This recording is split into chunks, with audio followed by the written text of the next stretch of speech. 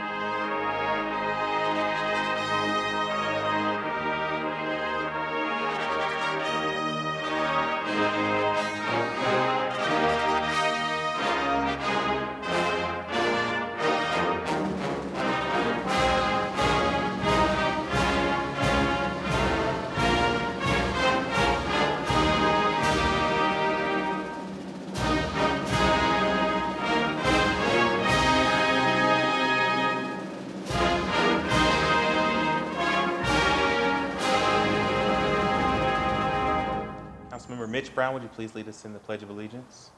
I pledge allegiance to the flag of the United States of America and to the republic for which it stands, one nation, under God, indivisible, with liberty and justice for all. This evening, we're honored to have Reverend John Edgar from Church for All People here this evening with us.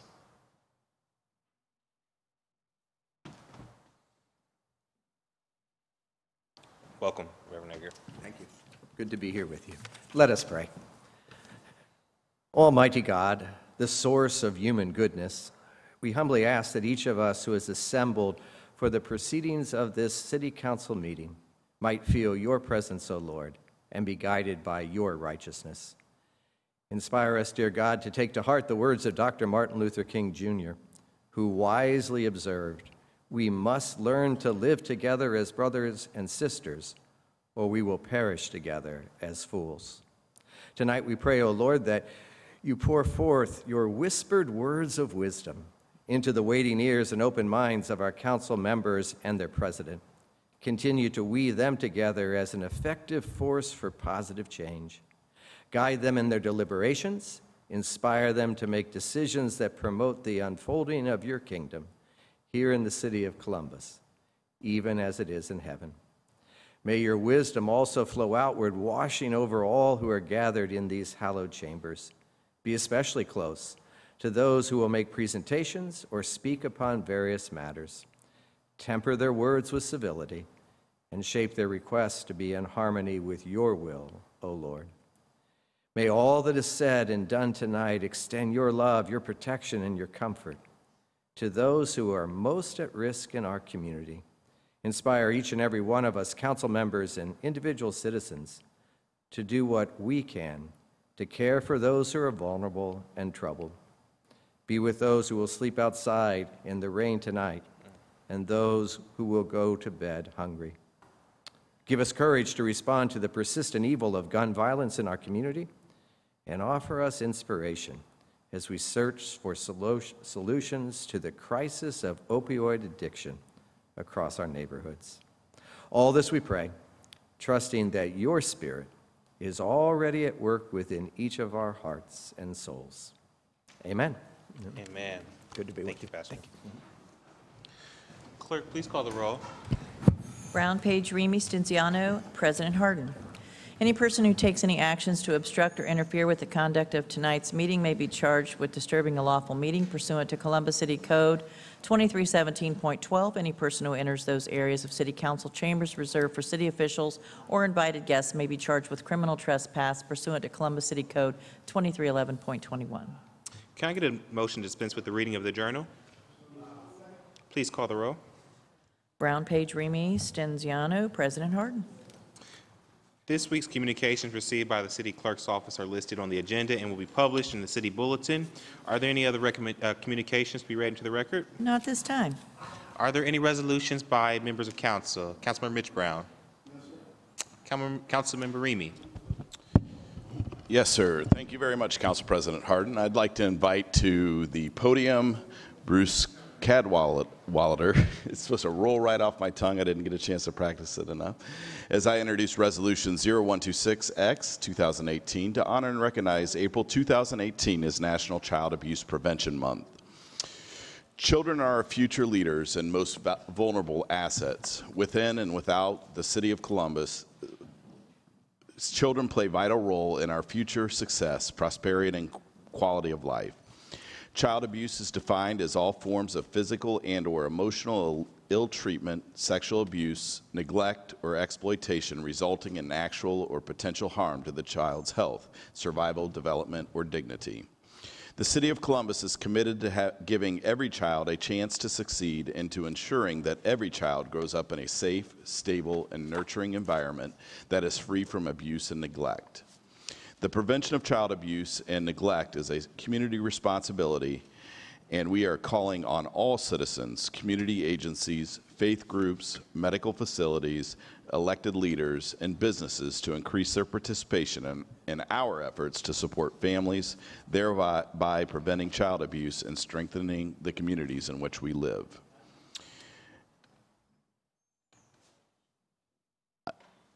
Uh, Bruce, I'll go ahead and let you have the floor. President Hardin, members of council, ladies and gentlemen, thank you for uh, letting us be here tonight to accept this proclamation on behalf of our director, Chip Spinning, and more than 800 employees at Franklin County Children's Services, where the work never stops. We had over 32,000 calls for service last year for child abuse and neglect. No zip code in Franklin County was not affected. This, this problem is pervasive in our society, and it is affected by the opioid crisis, as mentioned by the, by the pastor. Just a few statistics you might be interested in. Of those 32,000 calls, it resulted in over 11,700 investigations by our child welfare caseworkers. And we have ongoing services for over 14,000 children ongoing. April is a month of child abuse prevention awareness. We try to get the message out every April to the community that we need your help, all of your help in addressing this problem, reporting it, but also we like to strengthen families and address the problem at its roots. We're here to help families and provide resources for them, and the, the city is very much a partner with us on that. So we thank you for uh, letting us be here tonight, and we thank you for the proclamation. If you have any questions, I'll be glad to answer. Councilmember Brown. Bruce, I know you speak to the issue about child abuse on a physical level, but what about on a mental level? The role that you play with regards to uh, post-traumatic stress associated with child abuse? Yes, as I said, we can't do this on our own, so we contract with several local agencies as a resource. We have family counseling, we have, uh, there are also many other kinds of abuse. You might mention neglect, medical neglect, sexual abuse. So we address all those issues, and we, uh, we do that from three different locations here in Franklin County. Any other comments or questions from my colleagues? If not, I move for passage. Please call the roll. Brown, Page, Remy, Stinziano, President Hardin. Adopt it. Thank you. Copy of the annual report is on your desk. Oh, awesome. Thank you.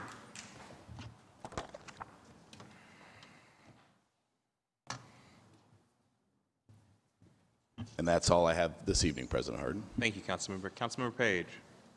Thank you, Councilmember. President Pro Tem.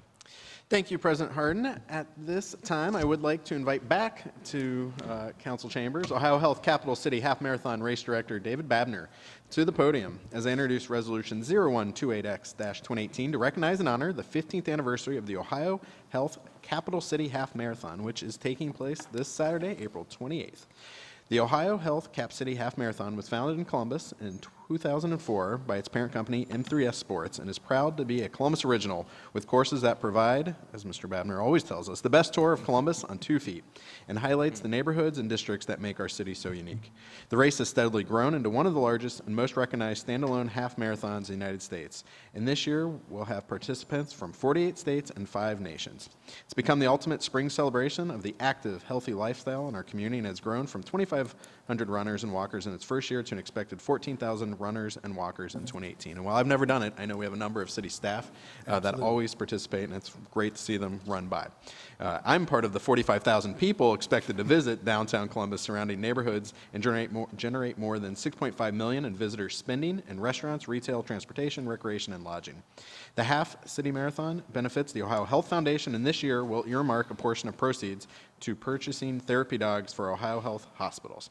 So it's my honor to welcome you back. I'll let you speak before we uh, formally pass the resolution. Well, thank you very much. Council President Hardin, President Pro Tem Stinziano, other members of council, directors, uh, and staff, thank you so much for this recognition. Uh, The Ohio Health Capital City Half Marathon, I can't believe it, it's celebrating its 15th anniversary. I must have been 15 when I started it back in 2004. Back in 2004, we actually started and finished on Neil Avenue in the Arena District. We had just over 2,000 people. This year, we'll have almost 15,000 people towing the line on High Street. Um, We could not do it without your tremendous support from the Division of Police, Division of Fire, Columbus Parks and Recreation, the City Services Team, and all its, and all our residents. Um, It really has turned into a huge community celebration of health and wellness and the healthy, active lifestyle. That's what we, that was our mission when we started it back in 2004 and continues our mission today. Uh, Our focus, as you know, in the last two years, we celebrated uh, the national championships here in Columbus. We took a regional event and gave it a national reputation and brought runners from all over the, all over the world here. Uh, Two years ago, who came in second place in the Capital City Half Marathon was Des Linden in the women's group. Last Monday, she won the Boston Marathon and was the first woman to do so in 35 years. So we're proud of that accomplishment, but even more, all the lives we've touched trying to get uh, healthy and active along the uh, same mission as Columbus Recreation and Parks.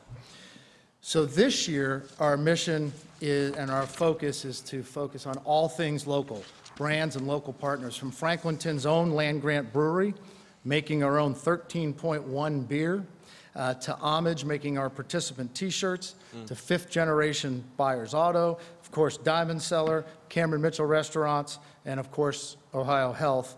Uh, We're proud to call these uh, local companies partners. Cap City was made in Cbus 15 years ago. The M3S Sports offices are in Columbus. I went to law school here in Columbus, uh, and we're proud to be a huge part of this community. Uh, We've had a remarkable 15 years celebrating the healthy, active lifestyle in Columbus, and we hope to continue for at least another 15 years. Again, thank you so much for this recognition tonight. Are there any questions or comments from my colleagues? I do, and I also mentioned it in the back, want to thank M3S Sports for your role with the bounce. Well, As I mentioned, my mm-hmm. son would still be bouncing, but your role to be part of what made the Final Four so special. I appreciate your ongoing leadership. Congratulations on the 15th anniversary. And with that, I'll move for adoption. Please call the roll. Brown, Page, Remy, Stinziano, President Hardin. Adopted. Thank you very much. Congratulations.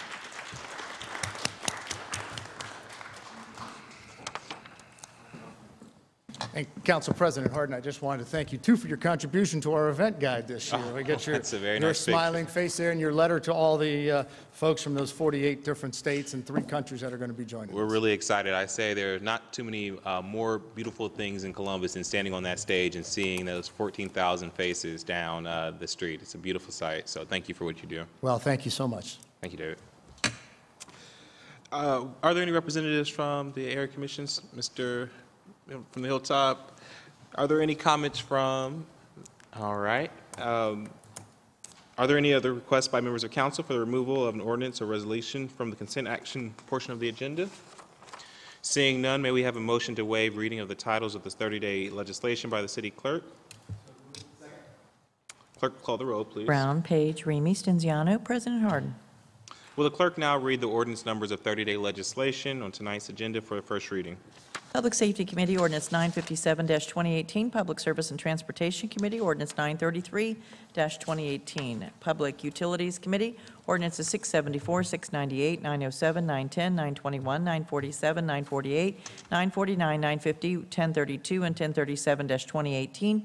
Rules and Reference Committee, ordinance 1042-2018.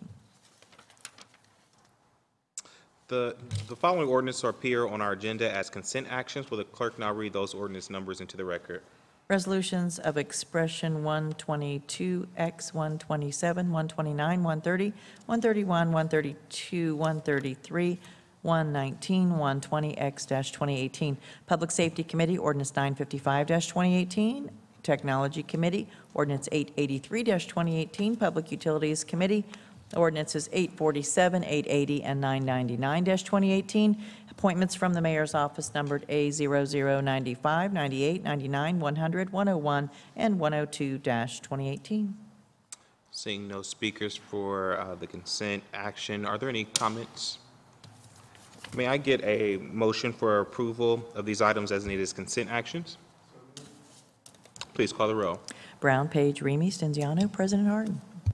We will now proceed with the reading of the 30-day tabled and emergency legislation. The first committee to come before council is the Finance Committee. Uh, Councilmember Remy uh, will chair that committee. Thank you very much. This evening, we have ordinance number 116X, 2018, to accept the Capital Improvements Program 2018 to 2023, as described herein as the primary guide for future capital improvements budget ordinances.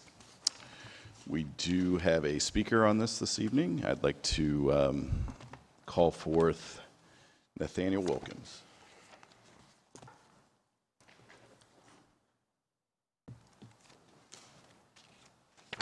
Mr. Wilkins, Wilkins, welcome. Um, You'll have three minutes to speak on the topic. 1612 Arlington Avenue, Mr. Lathan George Wilkins, the chairman of solely vacant abandoned property in North Linden area. Um, I would like to see a longer time for capital improvement for this future development. Uh, Instead of 2018 to 2023, I'd like to see it begin and start in 2018 to 2025. I will be for, for this if that continue, be continued from 2018 to 2025, and thank you for your time. Thank you very much, sir. Are there any questions or comments from my colleagues? Yes, President Hardin? Thank you, Chair Remy. Just wanted to take a moment again to thank um, Councilmember Chair Brown um, and you then for stepping in in her absence, uh, and all the staff, um, the mayor's administration for the work that they put in on this capital budget. Uh, Was very um, appreciative of the community engagement we had. Had four community meetings um, and uh, uh, heard a lot from different residents about the great uh, projects and opportunities uh, to work with uh, neighborhoods to continue to strengthen uh, our community. And so just a big thank you to everyone. And uh, again, thank you, Councilmember Remy, for your leadership as well. If there are no other comments or questions, I move for passage. Please call the roll. Brown, Page, Remy, Stinziano, President Hardin. Pass. Next, we have ordinance number 1010, 2018, to adopt a capital improvements budget for the 12 months ending December 31st, 2018, or until such a time as a new capital improvements budget is adopted, establishing a project budget for capital improvements requiring legislative authorization in 2018 to repeal ordinance number 1124, 2017, as amended. This ordinance establishes the 2018 capital improvements budget in the amount of one mil- one billion thirteen million. th- sorry about that. there, it is a big number. Um, the budget represents a plan for the expenditure of monies in 2018 for a variety of capital improvements projects. This budget represents new funding in the amount of 719,700,000 and carryover funding in the amount of 293,700,000. The budget also includes a record number of uh, funding for street repaving at 39 million. Water and sewer improvements make up 55% at $557 million of the budget. 5 million of this will be for Affordable Housing Alliance to leverage additional funding to support affordable housing in Columbus. 2.5 million for new sidewalks around schools. 20 million for a new Linden Re- Community Recreation Center. A million for a gunfire detection system as part of the comprehensive neighborhood safety strategy. As uh, President Hardin mentioned, we had over four, we had four public hearings and over 200 residents in attending, providing feedback and asking questions. Very appreciative of that opportunity to engage all members of our community throughout the city to learn about their individual needs. Um, it was very well received to take to address their feedback and know that this is an ongoing process. The capital budget represents investments in our neighborhoods, and our goals are to make this process and these investments accessible and understandable for all of our residents. Uh, Before I throw it over to Director Lombardi, I'd like to thank the mayor, Mayor Ginther, Auditor Kilgore, Finance and Management Director, Director Joe Lombardi, Deputy Director Dan G., Rob Newman, Kyle Severhart, and City Council, of course, um, Matt Erickson from our Legislative Research Office. Director, would you like to say a few words? Sure. Uh, Thank you, President Hardin, Councilmember Remy, other council members. Um, As the council member said, this uh, budget does uh, reflect the priorities of not only the administration, but also of city council. I too want to thank uh, all of you for your input, uh, obviously the city auditor, who we work closely with uh, throughout this process, and my colleagues and their staff who do all the grunt work. Um, Kyle Seaver and uh, Rob Newman and my staff really put together this uh, monster, as I like to call it, but uh, they do all the hard work, and uh, they uh, should be appreciated for that. I I also want to thank Councilmember Brown for her leadership and uh, congratulate her on her new baby. Um, And and to just answer Mr. Wilkins's question, uh, we do a five-year CIP each year, so next year we'll run it out to 2024, and then the following year we'll be out to 2025. Uh, But as you said, 55% of this budget is public utilities, which is supported by user fees. No income tax dollars are used there. And uh, as, as far as those projects that will be in the general fund, in, uh, I think it was 1956, that uh, the policymakers decided to use 25% of uh, income tax dollars and put it into a fund called the Special Income Tax Fund, which helps pay for the debt for those. So again, I want to thank all of you for uh, your support and the mayor for his leadership and, and the community for allowing us to come out into their neighborhoods and talk about the, the projects that we are, uh, have in this calendar year. Thank you. Any other questions or comments? President Pro Tem Stinziano. Uh, Thank you, Chairman. Just kind of echo what we've been hearing. I think we all recognize budgets are about priorities, and this budget particularly highlights how neighborhoods are a priority of not only the mayor's administration, uh, but this council. We heard a lot of good feedback in the hearings, and I know there's a number of projects in here that came from neighborhood con- conversations we had throughout the past year. So I encourage uh, residents to continue to engage. Uh, We're listening and continuing, and really appreciate uh, the leadership of Director Lombardi, Auditor Kilgore, um, Chairwoman Brown, Vice Chair Remy, uh, to get us to this point. Uh, It's an important budget, as Chair of Utilities, uh, recognize the large portion that Director mentioned, uh, but those are things that will continue to make our community and city thrive. And so really uh, appreciate the work that your staff uh, and the entire council staff with the administration put in to get us to this vote. Thank you very much. Anybody else? If not, then I move for passage. Please call the roll.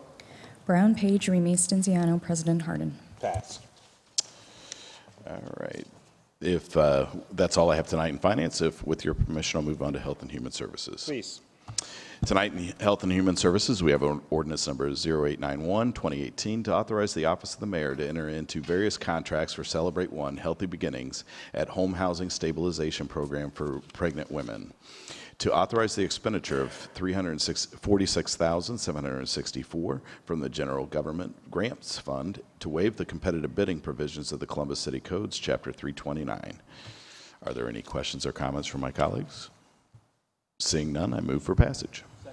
Please call the roll. Brown, Page, Remy, Stinziano, President Hardin. Thank you very much. That's all I have this evening. Thank you, Chair Remy. The next uh, committee to come before council is the Rules and Reference Committee. I chair that committee. At this point, I would turn the uh, committee over to Councilmember Mitch Brown. Thank you, President Hardin. Um, uh, Ordinance 10053-2018 to amend sections 2329-13 and 2329-14 and to enact section 2329-15 of the Columbus City Code establishing regulations for hookah lounges and their operations. I'm requesting to table indefinitely. Please call the roll. Brown, Page, Remy, Stinziano, President Hardin. The uh, legislation is tabled. That's all I have this evening, sir. Thank you, Chair Brown. Seeing no further uh, business to come before council, can I get a motion to adjourn? Please call the roll. Brown, Page, Remy, Stinziano, President Hardin. Council is adjourned. We will take uh, speakers momentarily.